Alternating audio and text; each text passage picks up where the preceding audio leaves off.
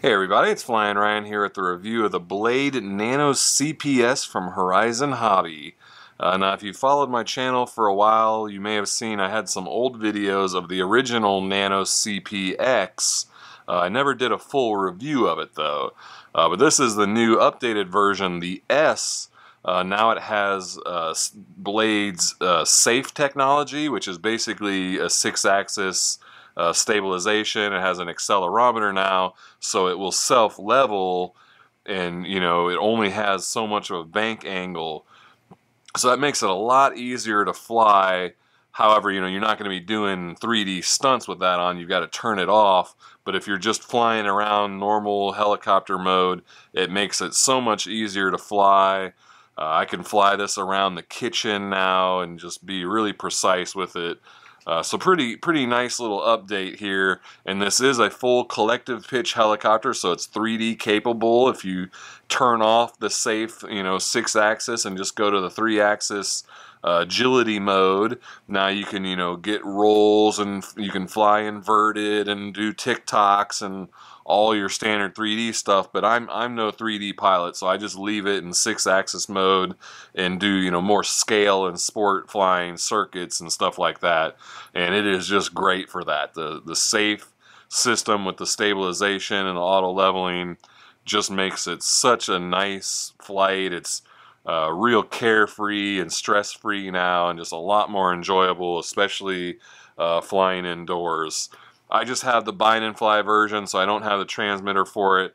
I've got mine bound up to my DX6, which the manual will tell you how to set everything.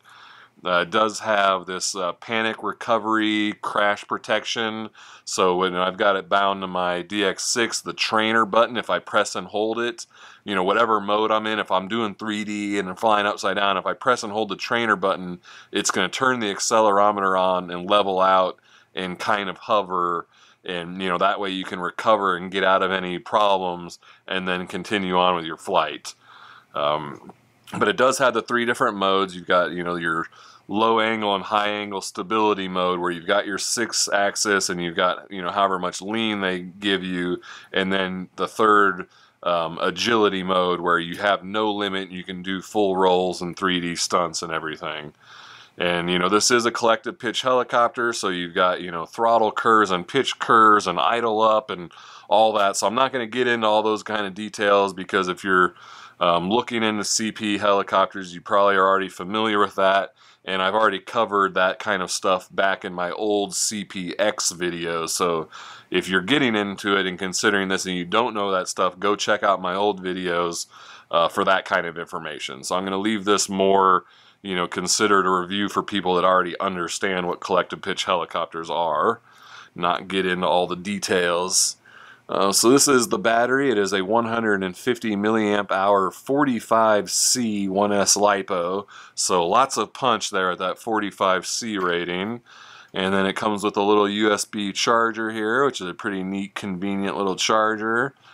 Um, it takes about 33 minutes to charge. And you get about six minute long flights, and there's no LVC warning, at least not that I saw. You know, there may be a little red light inside that blinks, but you know, not enough that you're going to see at a distance. So you're going to want to use your timer on your transmitter or some other form of, of timer uh, to make sure that you you know you know your flight times, you don't run out.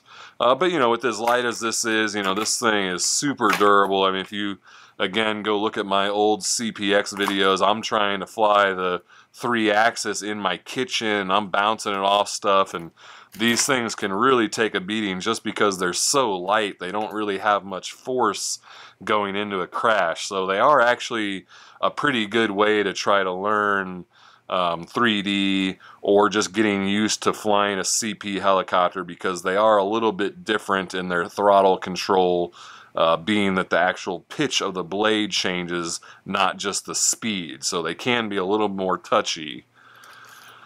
Uh, comes with a screwdriver here. It's a pretty nice metal screwdriver actually. And then uh, we've got some spare parts. We've got a spare tail rotor. And then we've got um, not exactly spare blades, these are different blades. As you can see here, these are, you know, traditional smooth blades, and then these have these bullets on them, which make them track better, so it makes them more stable, but yet they're um, not as good for 3D, so they, they aren't going to transition and change as fast. Uh, so if you're just beginning and you want a you know more mild flight and more stability, you're going to want to use those bulleted, bulleted blades. But if you're moving up and trying to do fast, sporty stuff and doing 3D, you're going to want these blades. Uh, let's see. I did find it, you know, even though it does have the six axes, it's not like this thing just sits there and hovers on a dime. It still, it still drifts around a little bit, and it's not as stable as a quadcopter or anything like that.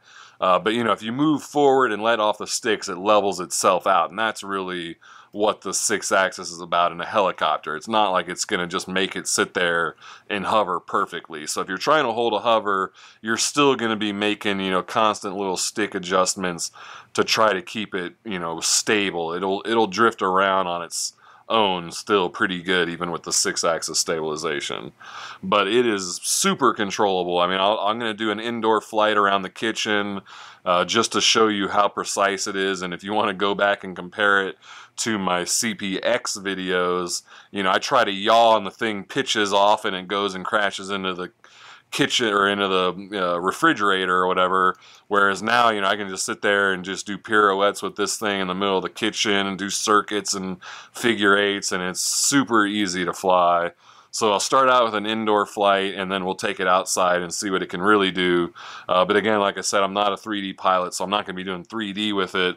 Uh, I'll just be staying in six axis mode and doing sport flying and circuits and stuff like that. Uh, but I, you know, at least be able to show you what it can do in that manner.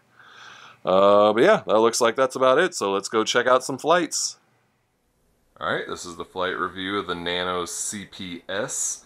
I'm going to do a little indoor flight and then we'll take it outdoors so I can get a little crazier with it. But I just wanted to fly indoors to just kind of show how precise and controllable it is. And if you saw my older video with the original Nano CP before they added safe with the six-axis stabilization, I tried flying it in here and it was quite hard. So uh, this will be a good comparison to show how much easier it is now with six-axis. Uh, and again, I'm not a 3D pilot, so I won't be doing any actual 3D with it. I'll just be flying normal. So, Alright, here we go.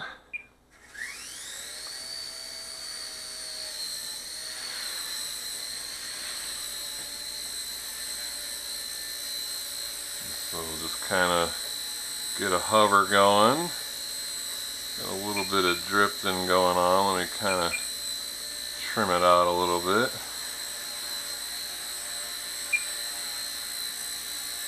Alright. Do pirouettes, which was pretty much impossible with the original one. That's, I mean, I'm not doing anything. That's just the stabilization system, keeping it stable.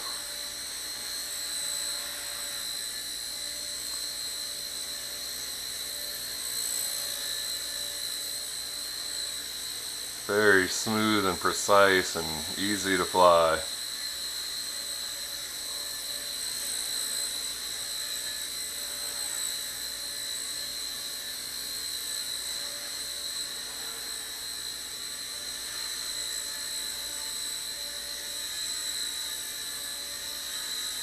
Kind of try to get a little funnel going.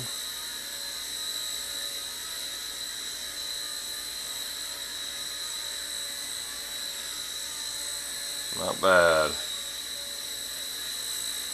Alright, well I think that proves it's good indoors and nice and stable and precise. Let's take it in for a landing. There we go. And now I'll go ahead and take it outside and so I can get a little more uh, fast with it and do some little bit more crazy flying. So let's go check that out. Alright, this is the outdoor flight of the Blade Nano CPS. And like I said, I'm no 3D pilot, so I'm not going to be doing any 3D. I'll just do some sport circuit flying. And as you can hear as I move it, the servos move. It's got that six-axis uh, stabilization, leveling, and correction and everything, so it's trying to correct for all the movements I'm doing pretty neat. Makes this thing a nice stable little flyer. Be flying it with my Spektrum DX6. Take throttle hold off and I'm in high rates. And there she goes. Let's kind of get it trimmed out first.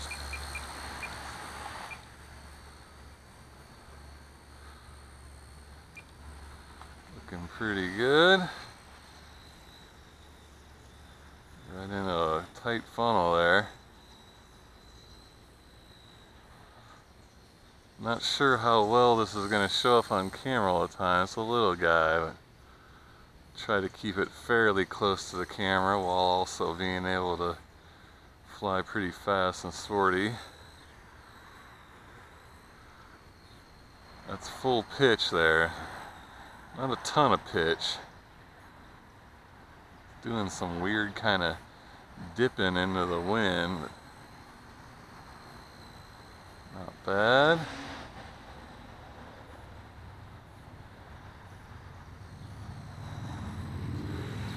This thing's quite easy to fly for what it is.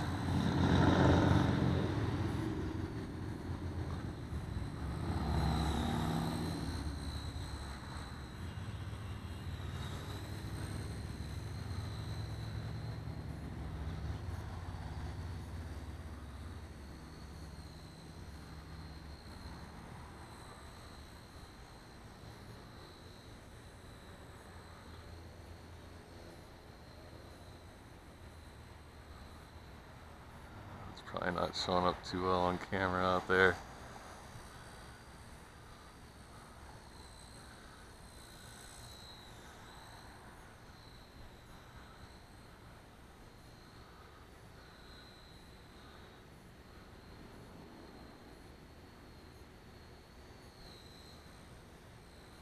Doing a little bit of weird stuff with the wind, but not too bad. I wouldn't think that I don't think this thing could handle much wind. It's fairly calm right now, so too much more wind, I think it would start getting a little, a little weird.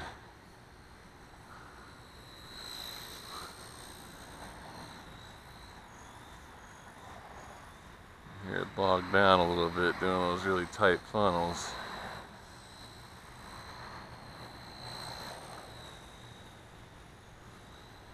It flies nice though. Smooth and stable and precise, nimble. I am a big fan of six-axis helicopters.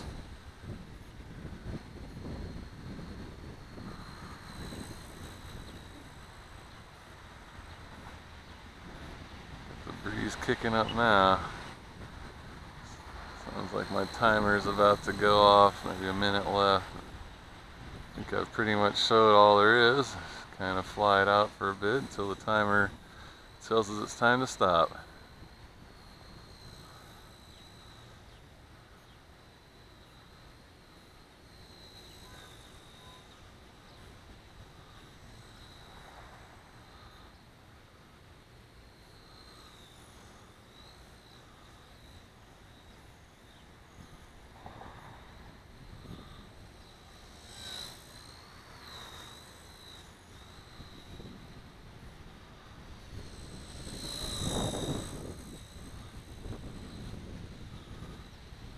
that stronger breeze is starting to mess with it. Alright, well there's the timer, so I'll bring her back in for landing.